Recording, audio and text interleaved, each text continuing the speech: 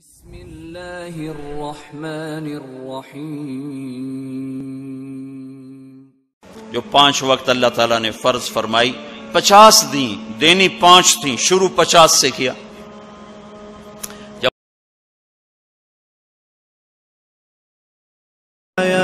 وصنعت كائنا حيا نرى لم نزد إلا يقينا بالإله لم نزد جی کیا بچوں کی خاطر مجبوری میں حلالہ جائز ہے؟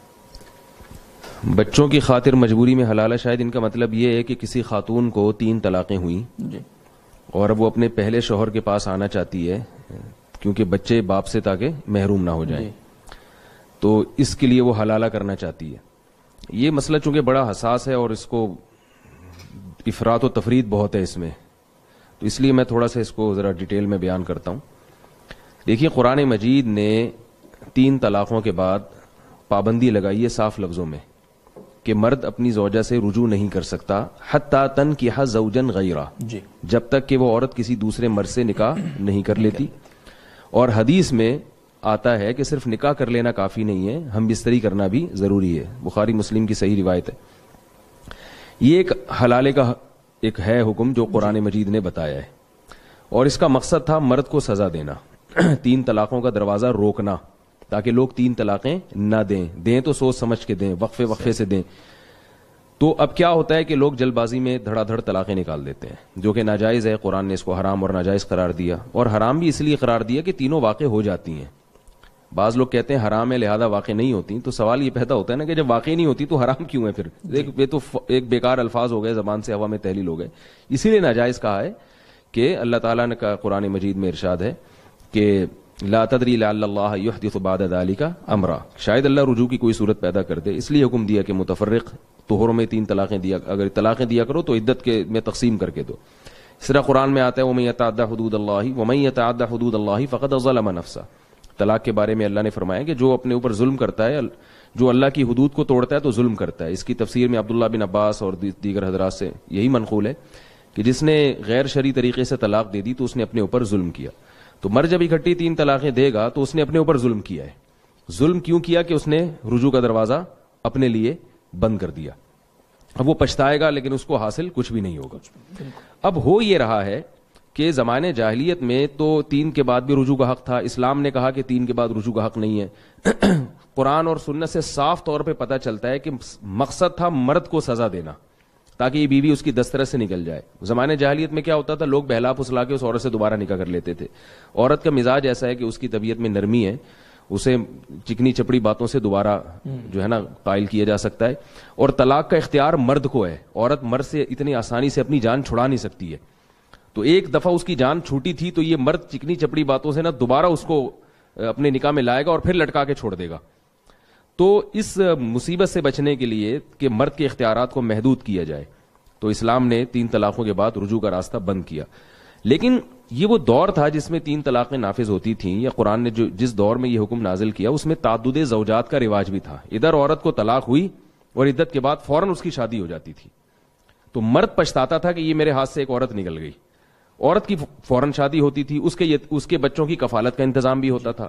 اور طلاق کو اتنا معیوب بھی نہیں سمجھا جاتا تھا کیونکہ طلاق عورت کے حق میں اتنا بدنما داغ نہیں تھی۔ اس کو ہم صحابیات کے واقعات جب دیکھتے ہیں تو جب بھی کسی صحابیہ کو طلاق ہوئی ہے، پہلے سے بہتر رشتہ ہی ان کو ملا ہے۔ اگر دوبارہ بھی طلاق ہوئی تو پھر اس سے بہتر رشتہ ملا۔ بیوہ ہوئی تو اس سے بہتر رشتہ ملا۔ لیکن ہمارے یہاں چونکہ تعدد زوجات کا رواج نہیں ہے یک ایک بیوی پر اکتفا کا رواج معاشرے میں چل پڑا ہے، تو اب خواتین کی بھرمار ہے۔ اب اگر کسی کو تین طلاقیں ہوتی ہیں تو بیچاری ساری زندگی بیٹھی رہتی ہے۔ اور طلاق چونکہ عورت کے حق میں ایک بدنما داغ سمجھا گیا ہے۔ لہذا طلاق کے بعد آپس کے اختلافات بہت شروع ہو جاتے ہیں۔ تو بچوں میں چھینا جھپٹی شروع ہوتی ہے جبکہ شریعت نے بچوں کے بارے میں قاعدہ ضابطہ بیان کر دیا کہ بچے جب تک بچے ہیں ماں کے پاس رہیں گے اور سات سال کی عمر میں وہ باپ کے باپ کی کسٹڈی میں آئیں گے۔ جب ماں کے پاس رہیں گے تو باپ اس سے مل, ملے گا۔ اور جب ماں باپ کے پاس رہیں گے تو ماں سے ملنے پر کوئی پابندی نہیں لگا سکتا۔ لیکن اب جھگڑے اتنے ہوتے ہیں کہ کھینچا تانی ہوتی ہے ایک باپ کے پاس چلے گئے تو ماں سے ہمیشہ کے لیے محروم ماں کے پاس چلے گئے تو باپ سے ہمیشہ کے لیے محروم۔ تو یہ ہمیں میں اس لیے اتنی لمبی تقریر کر رہا ہوں کہ طلاق کے سلاس کا جو فلسفہ ہے شریعت کا اس میں بہت سے لوگ مرتد ہو جاتے ہیں ایمان سے ہاتھ دھو بیٹھتے ہیں بعض اپنا مسلک تبدیل کر لیتے ہیں۔ بالکل ایسا۔ وہ اس لیے کر لیتے ہیں کہ معاشرے میں ہم اسلام کے جب کسی ایک حکم کو فالو کر رہے ہیں دوسرے حکم کو فالو نہیں کر رہے۔ یعنی ہم طلاق کے حکام تو اسلام سے لے رہے ہیں۔ اور ایک بیوی پر اکتفا والا نظام وہ ہندوؤں سے لے رہے ہیں۔ تو بھائی باقی بھی پھر سسٹم آپ ہندوؤں سے لیں نا۔ یعنی ایڈجسٹ نہیں ہو سکتا۔ اسلام نے جس حساب سے طلاق کے حکام دیے ہیں، اس حساب سے پھر نکاح کے بھی حکام دیے ہیں۔ تو یہ پوری چیزیں ہمیں اسلام سے لینی پڑیں گی۔ تو معاشرے میں سدھار کا یہی طریقہ ہے کہ ہم مکمل اسلام کو فالو کریں ہر ہر چیز میں، تاکہ عورت کی ڈیمانڈ بڑھ جائے گی۔ جب ایک آدمی ایک سے زیادہ بیویاں رکھے گا تو عورت کی ویلیو بڑھے گی ڈیمانڈ بڑھے گی۔ ڈیمانڈ بڑھے گی تو طلاق کا ریشو خود بہت کم ہوگا اور اگر طلاق دی بھی جائے گی تو عورت کو نقصان نہیں ہوگا جو تین طلاقیں دے گا نا مرد اس کے لیے دوبارہ بیوی کو تلاش کرنا بہت مشکل ہو جائے گا۔ عورت کے لیے مشکل نہیں ہوگی اس کے تو دس لوگ انتظار میں بیٹھے ہوں گے اور رشتے بھیجیں گے اس کے لیے۔ لیکن جو جس نے جس کے ہاتھ سے سونے کی چڑیا نکل گئی ہے اس کے لیے عورت کا حصول بہت مشکل ہو جائے گا۔ تو یہ پوری بات پہلے ذہن میں رکھنی چاہیے کہ اسلام میں حلالے کا کنسپٹ ہے کیا؟ اسلام نے حلالے کا کیوں کہا ہے؟ یہ پوری بات لوگوں کے ذہن میں نہیں ہوتی تو لوگوں کو اسلام پر بھی اعتراضات ہوتے ہیں کہ کیسا اللہ نے حکم دے دیا کہ مرد دے تین طلاقیں اور نقصان ہو عورت کو، حلالے وہ کرتی پھرے۔ تو عورت کو نقصان نہیں، مرد کو نقصان دینے کے لیے، مرد کے اختیارات ختم کرنے کے لیے۔ اب جو عورت کو نقصان ہو رہا ہے، وہ اسلام کے حکم کی خرابی کی وجہ سے نہیں ہے، وہ ہمارے معاشرے کی خرابی ہے۔ وہ خرابی کیا ہے؟ ہم نے اسلام کو مکمل فالو نہیں کیا۔ آدھا اسلام لے رہے ہیں آدھا ہندوؤں والا سسٹم لے رہے ہیں۔ تو اب جو حلالی کی جو سیٹ اپ ہے نا اس سے عورت کو نقصان ہو رہا ہے وہ اس وجہ سے ہو رہا ہے۔ اب میں اس کی پوری حیثیت بیان کرتا ہوں کہ دیکھیے حلالے کے بارے میں بعض لوگ تو اس کو پرلے درجے کی بغیرتی کہتے ہیں۔ جی۔ اور بعض لوگوں کے ہاں باقاعدہ ایگریمنٹ کر کے حلالے کیے جا رہے ہیں۔ بعض سنا ہے کہ اس کام کے لیے باقاعدہ بیٹھے ہوئے ہوتے ہیں کہ جس نے بھی حلالہ کروانا ہے یہ بے شرمی بغیرتی کی بات ہے۔ مجھے کہتے ہوئے بھی اچھا نہیں لگ رہا۔ اور وہ اس کے لیے جناب وہ اشتہارات بھی دیتے ہیں۔ تو یہ دون، دونوں انتہائیں ہیں جو بالکل غلط ہیں۔ ایک حلالہ وہ ہے جس پر رسول اللہ صلی اللہ علیہ وسلم نے لانت کی ہے۔ لعن اللہ المحلل والمحلل لہو۔ فرمائے جس کے لیے حلالہ کیا جائے، اس پر بھی لانت اور حلالہ کرنے والے، کرنے پر بھی لانت اور ایک حلالہ وہ ہے جس کا قرآن نے ذکر کیا ہے کہ اگر مرد نے تین طلاقیں دے دیں، فلا تحل لہو حتی تن کی حزوجن غیرہ، عورت شوہر کے لیے حلال نہیں ہے جب تک کسی اور مرد سے نکاح نہ کر لے۔ دو قسم کے حلالے، ایک قرآن میں ملتا ہے، ایک حدیث میں۔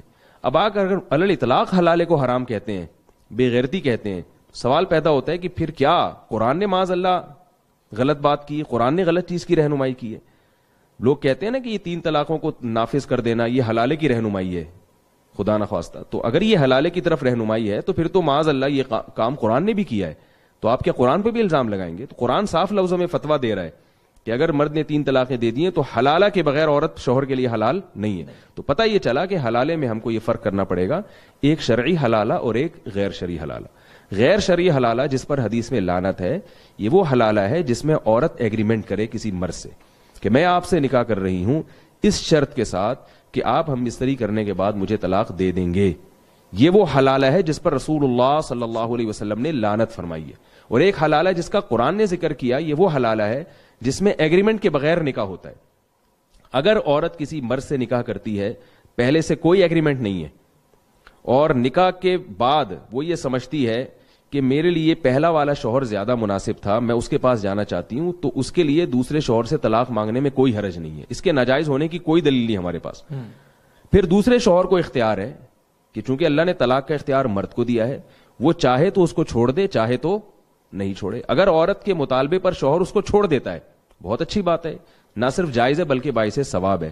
اس لیے کہ جب ایک عورت کا دل آپ کے ساتھ نہیں لگ رہا اور وہ اپنے پہلے شوہر کے ساتھ زندگی گزارنا چاہتی ہے، تو اس میں کوئی حرج نہیں ہے۔ عبد الرحمان ابن عوف رضی اللہ تعالیٰ عنہ جب ہجرت کر کے مدینہ گئے ہیں، ایک انصاری صحابی نے دیکھا کہ ان کو بچاروں کو کون رشتہ دے گا، یہ اجنبی ہیں۔ تو ان انصاری صحابی نے ارادہ کیا، ان سے کہا کہ میں اپنی ایک بیوی کو طلاق دیتا ہوں، آپ اس سے نکاح کر لیں۔ میرے پاس دو بیوی ہیں۔ تو کیوں؟ انہوں نے بولا کہ میرا گھر تو بسا ہوا ہے، یہ بےچارے اجنبی ان کو رشتہ نہیں ملے گا یہاں پہ۔ تو میں اپنی ایک زوجہ کو طلاق دیتا ہوں تاکہ ان کا گھر بھی بس جائے، ان کا گھر بھی آمادہ ہو جائے۔ ظاہر ہے ان کی زوجہ بھی شاید اس پہ راضی ہوں۔ تو کیا اس کو آپ بے شرمی کہیں گے، بے غیرتی کہیں گے؟ ظاہر ہے ایک مسلمان کا گھر بسانے کے لیے وہ ایسا کر رہے ہیں۔ تو اگر ایک مرد اپنی بیوی کو اس لیے طلاق دیتا ہے کہ اس کے پہلے شوہر سے بچے ہیں اور میں چاہتا ہوں کہ اس کا پہلا گھر آباد ہو جائے، تو اس میں کوئی گناہ نہیں ہے۔ لیکن وہ اس پر پابند نہیں ہے۔ نہ صرف یہ کہ گناہ نہیں ہے بلکہ باعث ثواب ہے۔ ہاں پہلے سے ایگریمنٹ ہوگا یہ یقیناً غلط ہے۔ رہا ایک مسئلہ کہ دل میں اگر نیت ہے عورت کے عورت کے دل میں نیت یہ ہے کہ میں اس شوہر سے بعد میں طلاق لے لوں گی لیکن وہ اس نیت کا زبان سے اظہار نہیں کرتی۔ تو بھی کوئی گناہ نہیں ہے اس لیے کہ یہ نیت چینج ہو سکتی ہے۔ جی۔ عورت کو اس نیت پر عمل کرنا واجب نہیں ہے۔ ہاں مرد نے اگر طلاق نہیں دی دوسرے شوہر نے پھر بھی عورت اس کو فورس کرتی رہے کہ نہیں مجھے طلاق دو اور اس کا جو ہے نا یہ پھر گناہ کی بات ہے۔ اس لیے کہ جب دوسرے شوہر کی نکاح میں آپ آ گئی ہیں تو اب آپ کو اس کو شوہر سمجھ کے زندگی گزارنی اگر آپ کے مطالبے پر اس نے چھوڑ دیا تو ٹھیک ہے نہیں چھوڑتا تو آپ اسی کے ساتھ زندگی گزاریں۔ پھر پہلے شوہر کی یادیں دل میں رکھ کے رکھنا یہ غلط ہے۔ ایک آخری بات کیونکہ میں نے بتایا بہت حساس ٹاپک ہے اور اس میں بہت مس گائیڈ کیا جا رہا ہے لوگوں کو۔ بالکل۔ بعض لوگ اس دوسری قسم کے حلالے کو بھی غیرت کے خلاف سمجھتے ہیں۔ یعنی جو جو جائز حلالہ ہے جس میں باقاعدہ پہلے سے ایگریمنٹ نہ ہو اس کو بھی سمجھتے ہیں کہ غیرت کے خلاف ہے۔ اور وہ ایک صاحب مجھے کہنے لگے کہ بھائی ایک عورت ہے اس کو دوسرے مرد کی بستر کی زینت بنے پھر وہ گھوم کے یعنی ایک آدمی کی بیوی ہو وہ کسی اور مرد کے بستر کی زینت بنے پھر وہ پہلے مرد کے یہ تو بغیرتی ہے۔ میں نے ان سے عرض کیا جو میں جے ٹی آر میڈیا کے حوالے سے بتانا چاہتا ہوں لوگوں کو بھی ایک بات ہے تاکہ صحیح اور غلط میں جو ہے نا ہم جو شریعت نے جس کو صحیح کہا ہے وہ صحیح ہے۔ دیکھیے جب ایک آدمی نے اپنی بیوی کو تین طلاقیں دی اور عدت بھی ختم ہو گئی اس کی تو اب یہ اس کی بیوی نہیں ہے۔ اب یہ جس کے چاہے نکاح میں جائے اس کو غیرت کے خلاف سمجھنا بے وقوفی ہے۔ بالکل۔ کیا طلاق یافتہ عورت عدت کے بعد کسی مرد سے نکاح نہیں کر سکتی؟ پھر اس کو یہ کہنا کہ کسی اور کی بیوی تھی جو کسی اور کے نکاح میں جائے گی کسی اور کی بیوی تھی نا اب تھوڑی ہے۔ زید نے مثال کے طور پر اپنی بیوی کو طلاق دی اور عدت بھی پوری ہو گئی۔ اس نکاح کے سارے اثرات ختم ہو گئے۔ اب وہ زید کی جو سابقہ بیوی تھی، جو اب نہیں ہے، وہ بکر سے بھی نکاح کر سکتی ہے، عامر سے بھی نکاح کر سکتی ہے، ساری دنیا کے جتنے بھی مسلمان مرد ہیں، کسی سے بھی کر سکتی ہے۔ اب ان سینکڑوں میں وہ بکر کا سلیکشن کر کے بکر سے نکاح کر لے، تو یہ یہ کیا غیرت کے خلاف کیا اس نے؟ پھر بکر نے اگر اس کو اپنی خوشی سے، اپنی رغبت سے طلاق دے دی، اور بکر سے بھی اس کا رشتہ ختم ہو گیا، اور عدت بھی پوری ہو گئی اب وہ ساری دنیا کے جتنے بھی مسلمان مرد ہیں، ان سے بھی نکاح کر سکتی ہے اور اپنے پرانے والے شوہر سے بھی نکاح کر سکتی ہے۔ اب اس کو یہ کہنا کہ بکر کی بیوی زید سے نکاح کر رہی ہے، یہ غلط ہے، بیوی تھی، اب وہ نہیں ہے۔ تو جہاں اتنے سارے مردوں سے نکاح ہو سکتا ہے اس کا اپنے پہلے شوہر سے بھی نکاح ہو سکتا ہے۔ تو اس میں کون سا اسٹیپ ہے جہاں غیرت کے خلاف کوئی کام ہو رہا ہے؟ تو خام خام ایک چیز کو جو ہے، میڈیا پہ ہوا بنا کے پیش کیا جاتا ہے۔ اور حقیقت یہ ہے نا کہ نبی صلی اللہ علیہ وسلم نے ارشاد فرمایا کہ قرب قیامت میں ان اللہ لا يقبض العلم انتظام من صدور العلماء ولكن يقبض العلماء۔ اللہ تعالیٰ قیامت میں جو علم اٹھائیں گے نا، تو لوگوں کے سینوں سے نہیں علم چھیننا شروع کر دیں گے، علماء کو اٹھانا شروع کر لیں گے۔ اس کا نتیجہ کیا ہوگا کہ فیدہ علم یب عالم اتخذ الناس جہالا رؤوسا جب علماء ختم ہوں گے تو لوگ جاہلوں کو اپنا رئیس بنا لیں گے۔ فضلوا واضلوا فافتوا بغیر علم فضلوا واضلوا وہ علم کے بغیر فتوے دیں گے۔ کوئی بقرات بن کے اور کوئی جناب افلاطون بن کے اور پتہ نہیں کیا کیا منطق، منطقی باتیں کر کر کے علم ہے نہیں، علم میں پختگی پختگی نہیں ہے، گہرائی نہیں ہے۔ تو وہ نبی صلی اللہ علیہ وسلم نے فرمایا کہ وہ لوگوں کے رئیس بن کے پھر فتوے دیں گے۔ فضلو و ازلو خود بھی گمراہ ہوں گے اور دوسروں کو بھی گمراہ کریں گے۔ تو اس لیے یہ حلالے کا جو لفظ جس طرح سے میڈیا پہ اس کو اچھالا جا رہا ہے اور اس میں جو اس کو لفظ کو بدنام کیا جا رہا ہے، اس میں اعتدال کی راہ ضروری ہے۔ کون سی چیز غیرت کے خلاف ہے اور کون سی غیرت کے عین موافق ہے، اس میں ایک باریک لائن ہے، اس لائن میں فرق کرنا ضروری ہے۔ اللہ تعالیٰ ہمیں سمجھنے کی توفیق